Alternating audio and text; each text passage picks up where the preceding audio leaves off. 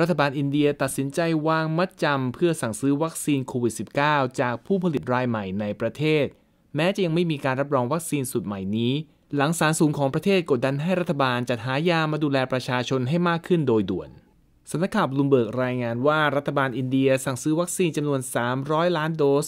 จากบริษัท Biological E Limited ซึ่งตั้งอยู่ที่เมืองไฮเดรบัดรัฐอานธรประเทศ พร้อมวางมัดจำเป็นจำนวนเงิน 15,000 ล้านรูปี หรือประมาณ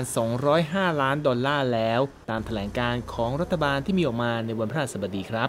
รายงานข่าวระบุว่าขณะที่การทดสอบวัคซีนสูตรใหม่ของอินเดียกำลังอยู่ในขั้นตอนที่ 3 ทางบริษัทมีแผนจะเริ่มแจกจ่ายวัคซีนแก่ประชาชนได้ ในระหว่างเดือนสิงหาคม และเดือนธันวาคมนี้แล้ว เมื่อต้นสัปดาห์ที่ผ่านมาศาลสูงอินเดีย ร้องขอให้รัฐบาลของนายกรัฐมนตรีนเรนทราโมดี เตรียมนโยบายแจกจ่ายวัคซีนขึ้นใหม่ ที่จะคิดราคาวัคซีนที่เท่าเทียมกันสำหรับผู้รับทุกคน ขณะที่ขยายการฉีดเพื่อปกป้องกลุ่มคนยากจนด้วยสำนักข่าวรอยเตอร์รายงานว่า หลังเกิดเหตุขาดแคลนวัคซีนในอินเดียทำให้มีการคาดกันว่า หากการแจกจ่ายวัคซีนยังคงอยู่ในระดับปัจจุบันต่อไป อินเดียน่าจะต้องใช้เวลาอย่างน้อยอีก 2 ปี กว่าจะสามารถฉีดวัคซีนประชากรสัดส่วน 75%ให้ครบ 2 โดส แต่รัฐบาลของนายกรัฐมนตรีโมดีประกาศว่าจะทำการฉีดวัคซีนให้ชาวอินเดียทุกคนให้ได้ ภายในสิ้นปีนี้ครับ ปัจจุบันมีประชากรอินเดียเพียง 4.7%เท่านั้นที่ได้รับวัคซีนโควิด -19 ครบโดสแล้วขณะที่ทั้งประเทศกำลังฟื้นตัวจากการระบาดใหญ่ระลอกที่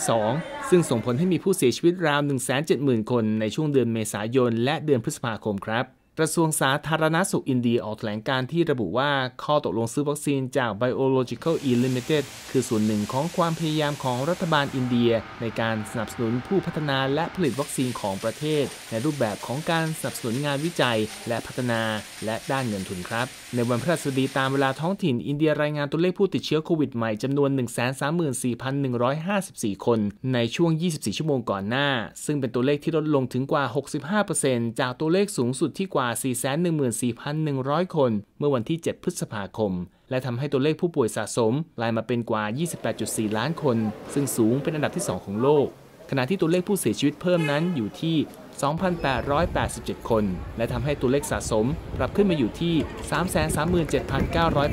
337,989 คน ซึ่งสูงเป็นอันดับที่ 3 รองจากสหรัฐและบราซิลครับ ขณะเดียวกันโฆษกกระทรวงการต่างประเทศอินเดียเปิดเผยในวันพฤหัสบดีว่า รัฐบาลกรุงนิวเดลีได้เริ่มเจรจากับรัฐบาลกรุงวอชิงตัน เพื่อให้ช่วยดำเนินการส่งวัตถุดิบการผลิตวัคซีนให้โดยไม่ขาดตอนแล้วครับ